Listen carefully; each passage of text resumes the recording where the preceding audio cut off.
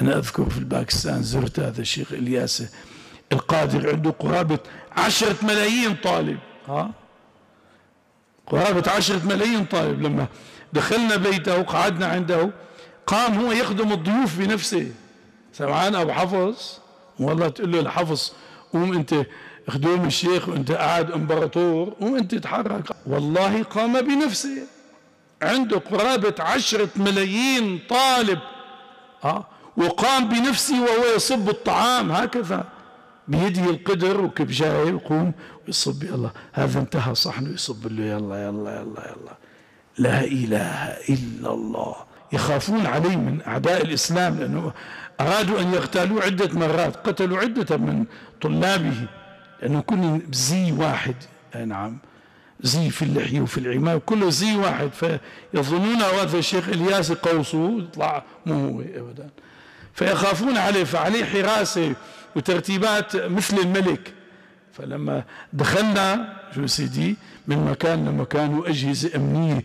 آه وسراديب كنا نظن والله حندخل مكان شو سيدي آه وعرش وكذا.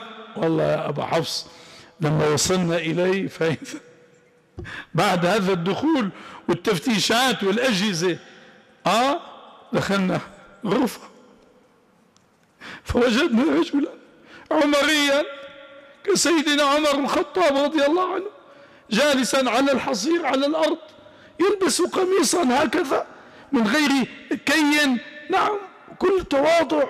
وهكذا يحني رأسه تواضعا وانكسارا لله. ويتكلم ويبكي. خشوع خضوع أدب. لا إله إلا الله. هذه زيارة تبقى معك. آه هذه زيارة منذ آه ثلاثة عشر عاما إلى الآن. أذكرها كأنه أمامي. والله يا جماعة أدب تستفيد من صحبة آه زيارة الأولياء وهو يقوم وهو وهو يخدم. الله أكبر الله أكبر. عندما تمشي سيارته في في كراتشي المسلمون يخرجون من محلاتهم ويقفون إجلالا له له سيارة مصفحة هي ضد الرصاص. شو سيدي يركبون فيها ننظر من النوافذ هكذا. الأمة كلها تقوم إجلالا له ذل وانكسار. لا إله إلا الله. لا إله إلا الله. لما كنا في بيت أحد تلاميذتي هذا قال أبو أبو كامران. نعم. جاءت بنت لي تسلم عليه. آه؟ بنت صغيرة يعني عمرها خمس سنوات تقريبا وهي إلى السواد أقرب. والله ما نظر إليها.